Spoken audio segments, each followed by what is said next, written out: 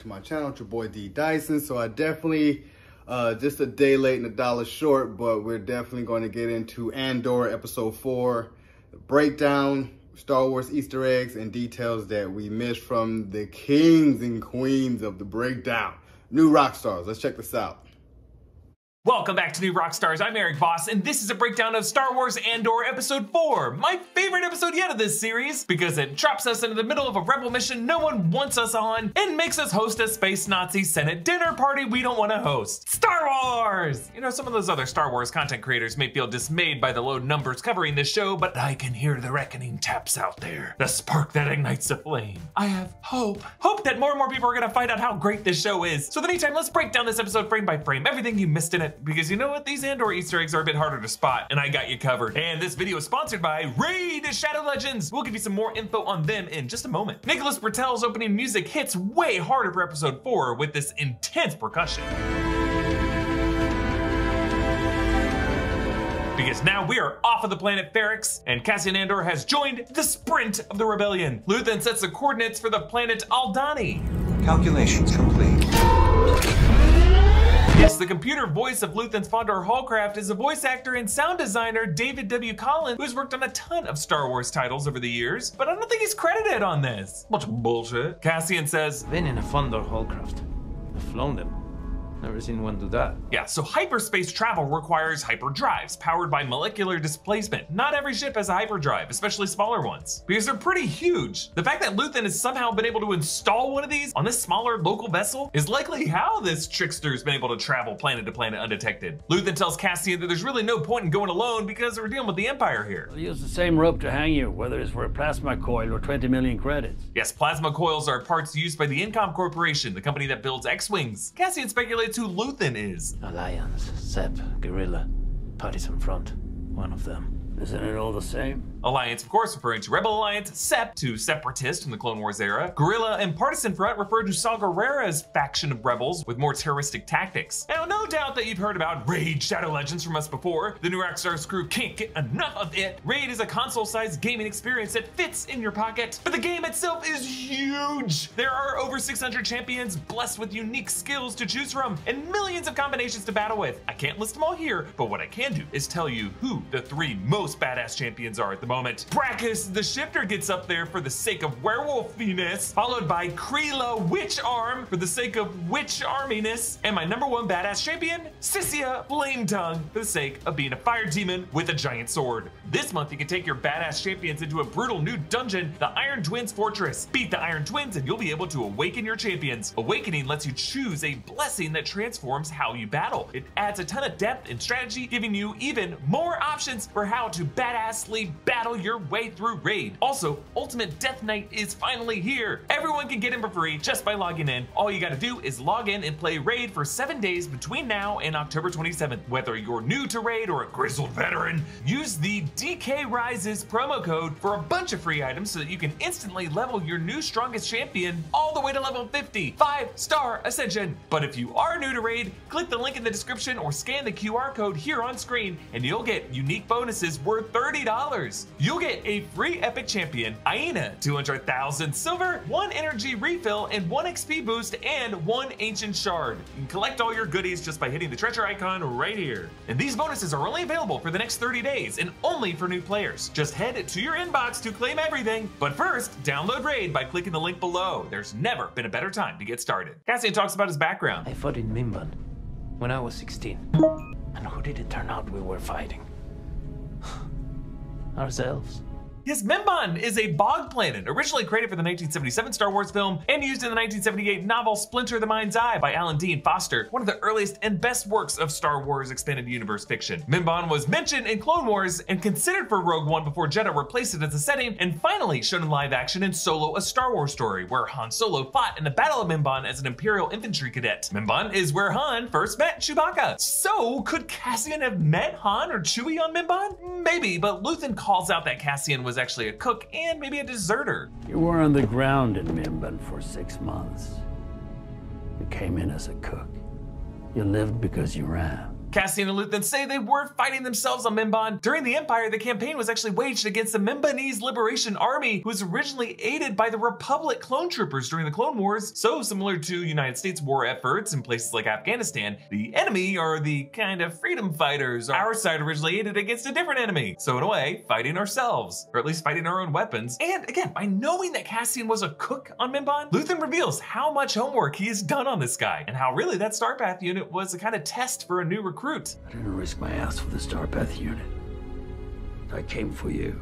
And Luthen reveals the score the quarterly payroll for an entire Imperial sector. A smart plan. Cut the Empire's ability to pay their forces, hit them in their wallets. Onto Coruscant. Its cityscape surface lit up from the space, but a closer look at the buildings show that the urban setting is colder, grayer, more muted in color tone than when we saw it in Revenge of the Sith and recently in Obi Wan Kenobi flashbacks. Dedra Miro approaches the Imperial Security Bureau, the Empire's intelligence gathering sector. Major Partagaz is their superior, played amazingly by Anton Lesser, Qyburn from Game of Thrones. Supervisor Grandi reports With the next quarter's detention estimates expected to increase across the Ryloth sector, any further erosion in local authority may require an increase in our Black Line budget. Yes, Ryloth is home to the Twi'lek species, including the Syndulla family, and nine years before this, Cham Syndulla plotted to kill Darth Sidious and Darth Vader on the planet Ryloth and of course failed. This led to an increased Imperial presence on Ryloth that will lead to Hera Syndulla embarking on her rebel path and piloting the Ghost rebels. Meanwhile, Legret reports that mining has resumed on the occupied lands of Arvala 6. Arvala 7 is the name of the desert planet in the same system from season 1 of The Mandalorian. This is where Din Djarin finds Grogu from a gang of Niktos. Partagaz stands up and lectures that the ISB mission statement is actually wrong. Security is an illusion. You want security? Call the Navy. We are healthcare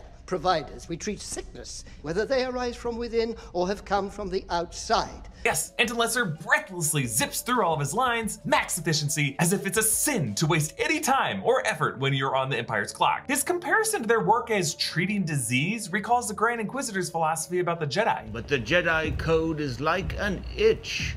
He cannot help it. But whereas the Grand Inquisitor simplifies this ill as a compulsion that must be stamped out, Partagaz disturbingly views all dissent as a kind of disorder that's treatable with the right medicine, which forces us to ask, what's creepier, an extermination and a purge, or a kind of enslavement and brainwashing? Blevin reports the latest drama from Ferrix and Morlana 1 that we saw in the first three episodes and mentions the recovered Imperial Starpath unit, which freaks out Dedra Miro because that's her jurisdiction. She's wondering, how did that even get in their hands? Partagaz asks Young about traffic to the Sector.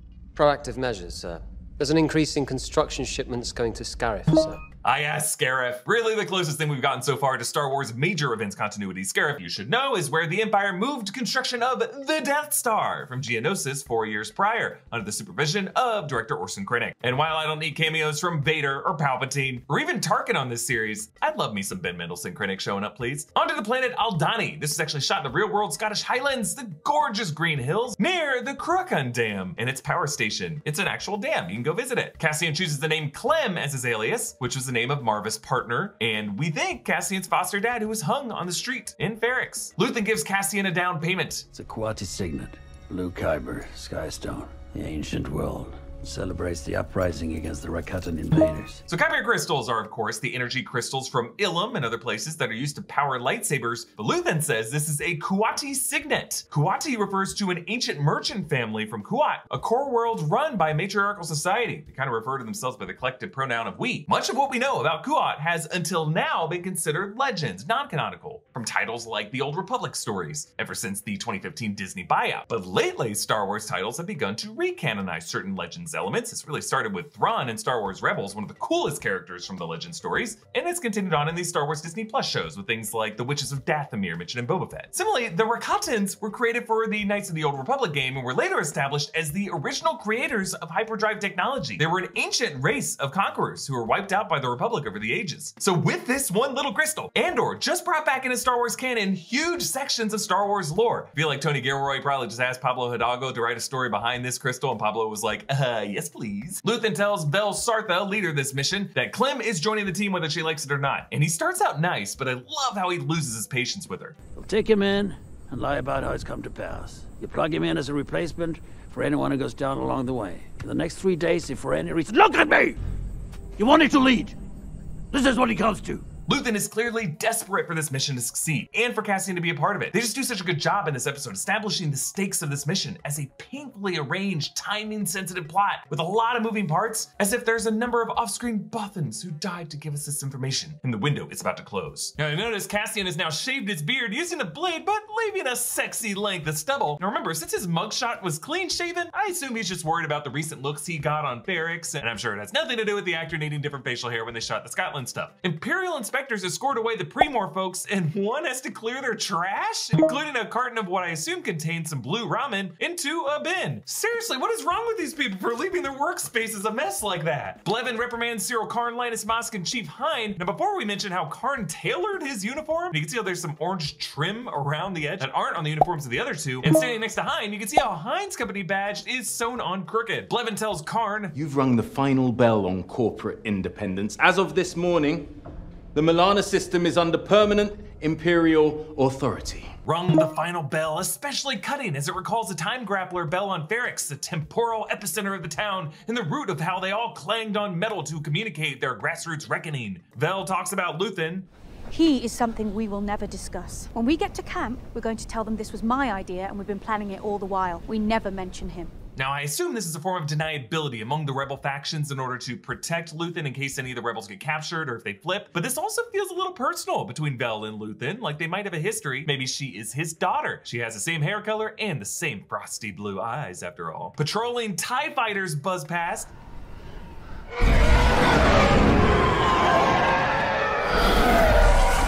Their iconic engine scream is dampened at first, but then roars as they cross over the ridge. I love the sound design and everything Lucasfilm. Dedra reads about the Starpath unit in the report. Ensign retrieved a sealed Imperial NS-9 Starpath unit from the site. That is our box from Steergard. Has to be. Yeah, Luthen said that the Starpath unit had been on Steergard, so there is more to the story of how it was stolen and who Luthen's Steergard contact might be. Despite the muted color tone of all this, Dedra keeps a small bonsai-like tree in her office, maybe a sign that there might be some goodness in her that we have yet to see. Luthen opens a hidden compartment on his ship where he changes into his wardrobe, including a wig, some beautiful purple clothes, and rings on each finger. Stellan Skarsgård just takes his great beat to emotionally reset himself. Tony Gilroy said Stellan told him it was all in the hands, and he could see that specific hand gesture that he mentioned in the interview here, which he drops and magically his character melts away. Bell's team includes Karis Nemik, Alex Lawther from the Shut Up and Dance episode of Black Mirror and The End of the World on Netflix, and Arvel Skeen, actor Ebon Moss-Bachrach, Richie from The Bear. Skeen catches Nemik sleeping. You ride with Mossy, Garbish, Saw Gerrera.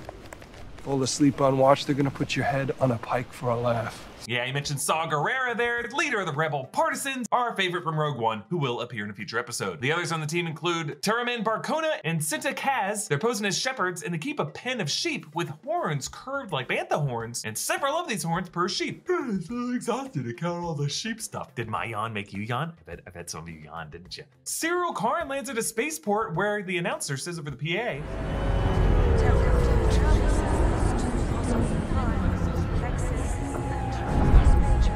Tel Gordo Travel is a shipping company from the Star Wars role-playing game. Hosnian Prime, of course, the core world that will later become the capital for the New Republic until the First Order makes it go boom boom in The Force Awakens. Plexus was a sector also mentioned in the role-playing games, and Euphorus Major was a planet mentioned in a junior novel companion book to Star Wars Rebels. So Syril's home world must be one of these three. Cyril takes the elevator down since the spaceport and the metro would be on the top levels of this cityscape, and the living quarters would be lower and lower further down. But it also just mirrors how this guy is pretty much rock bottom in his career. His mother, Edie, slaps him and takes him in. She's played by actress Kathryn Hunter, Fig from the Order of the Phoenix, and played the witches in the tragedy of Macbeth last year. Senator Mon Mothma visits Luthen's store, Genevieve O'Reilly returning from Rogue One after first playing the role in a Revenge of the Sith deleted scene. Of course, the character first played by Caroline Blakiston in Return of the Jedi. This store is an intricate revolving door. This whole area is just bright and strolled by these rich women, making it seem like Coruscant's Rodeo Drive. Luthen tells Mon Mothma, Free your mind, Senator. This is a place where time stands still.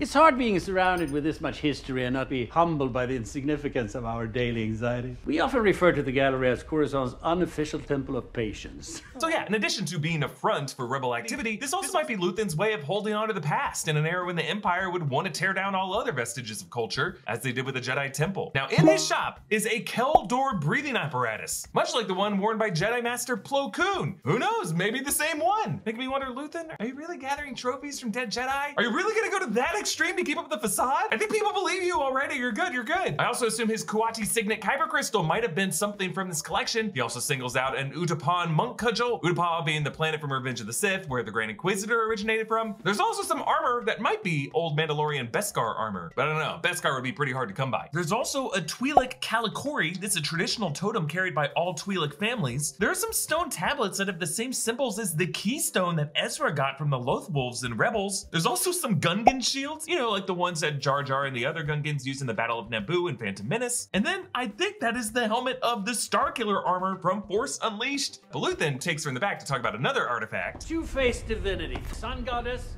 and a serpent from the overworld sharing the same mouth. Yes, this stone art reflects both Luthen and Mon Mothma as people. Both of them are two-faced figures in a way, one persona in the sun, one in the underworld, but both having to speak out of the same mouth. Mon Mothma says, I found someone I think can help me. Someone who? To bring into the circle? No. Hmm, she may be referring to Bail Organa, but I would think Bail might already be part of this inner circle. Could be Bail's daughter, Leia, who would be currently working as an apprentice senator under Mon's mentorship. I don't know, maybe Mon Mothma wants to use the girl as a money mule, a way for her to move some credits back and forth. Now, the seventh member of the Aldhani rebel team arrives via speeder bike. This is Lieutenant Gorn, an Imperial defector. Were men on the inside. He mentions an Imperial engineer arriving from Coruscant who might be Galen Erso. Maybe this appeared where Galen's being moved from Coruscant to And his forced Death Star super laser research. Mon Mothma's husband Perrin added some familiar names to the dinner party guest list. Ars Dangor Sly from the Vizier's private chamber? Yeah, Ars Dangor was first mentioned in the Tarkin novel and was implied to be one of the goofy-hatted men from Palpatine's entourage in Return of the Jedi. Sly Moore is that creepy-looking bald Umbaran female aide to Palpatine first seen in Attack of the Clones and often at his side. And that chick is a Force adept. You do not want to be sitting across from her at a dinner table trying to hide stuff. These are Mon Mothma's main political foes. Well, these people are fun. Oh, are they? Are they fun? Oh, we should find some Ghorman guests for tonight and see how amused they are. Your fun friends just cut off their shipping lanes yesterday. Do you know how many will starve? Ah, Ghormans. Ghormans are the oppressed people who will fall victim to an Imperial massacre three years from now. And speaking out on it will actually make Mon Mothma have to leave the Senate, turn fugitive, and publicly head the rebellion. Back in Aldhani, a model shows the dam in the valley when the Empire dammed up the Sacred River. We learn that Nemik actually made this by hand. Obviously, it's not to scale. Who is this guy? Doc Brown? Take some credit. Excuse the crudity of this model. I didn't have time to build it to scale or to paint it. Gorn describes this astronomical event that they're going to use as cover. Once every three years, the Aldhanis gather in this valley for a celestial event, but like a curtain being pulled across the sky. Until the eye, the window to the galaxy forms over the horizon. A curtain pulled over the sky. Sounds like a classic George Lucas wipe edit, doesn't it? But it's so meaningful to use this sacred mystic event as their escape path, as if the mystics who were driven from these lands can finally have a victory over the Empire. In addition to the mission having practical stakes, it really just gives their mission deeper spiritual stakes. Dedra and Blevin take their case to Partagaz. Sir, it is my feeling that this is part of an ongoing effort to steal proprietary Imperial equipment in anticipation of an organized rebellion. I have three previous case files on my desk that begin to suggest a pattern. Yes, she's probably onto something, but for now, Partagaz dismisses her concerns, yet compliments her detention numbers from Sev Tak. Sev Tak is a mid-rim planet mentioned in the Darth Plagueis novel. Cassian is handed a garrison map and an Aldhani phrasebook with an Aurebesh alphabet and corresponding Aldhani letters, which she's got to learn by morning? Now, since Cassian spoke Kenari for the first decade of his life, do we really know if he can read Aurebesh that well, let alone translate to Aldhani? I mean, something tells me that Luthen totally lied about those three languages that Cassian could speak. I don't know, maybe I'm just reading into that Leah Michelle look on his face. Follow me on TikTok, Instagram, and Twitter at EA Voss. Follow New Rockstars, subscribe to New Rockstars for more analysis of everything you love. Thanks for watching, bye. I really love Andor because it pulls so much from Star Wars lore. Like you have a ton a ton of material to pull from. Like, that's why I couldn't wait for the breakdown to try to give me a more insight on some of the planets, some of these characters. And as you can see, they're pulling from so many different Star Wars books. I love that because like I said, I used to always be that kid and you go to science fiction, you see a lot of Star Wars books. I'm a Star Wars fan, but I just told myself, I'm like, to really go into all these books, I wouldn't know where to start. Like from the Old Republic to the New Republic to what happened after Return of the Jedi, what happened in between um, Empire Strikes Back and Return. It was so much going on. And I was telling myself, like, if we can have this in episodic fashion, I'll be thrilled. And to me, Andor is that boots on the ground. You're getting to see the rebellion form and how it took place. So you get to go to these different planets and it's opening up that Star Wars lore even more. We're doing it with The Mandalorian and now with Andor. Book of Boba kind of had a little bit, but I just love how you're just going to, it's going to be one huge Star Wars universe and I freaking love it. I love it. I love Luthen. I love, you know, Stellan Skarsgård as Lutheran, just, you know, that cold-hearted. We really have to stick to the plan. And then when he switched over with the wig and he just, oh, the charm, you know, I was like, you see how you can play that high society, snobby, elegant type of art dealer. So I love this. I love where this is going. And I love how it's all going to make sense soon enough. So, you guys enjoyed my reaction to Andor Episode 4 breakdown, Star Wars Easter eggs, and details we've missed. Subscribe to my channel, subscribe to the new rock stars, post comment down below, and like the video. It's your boy, D. Dyson. Peace. Oh.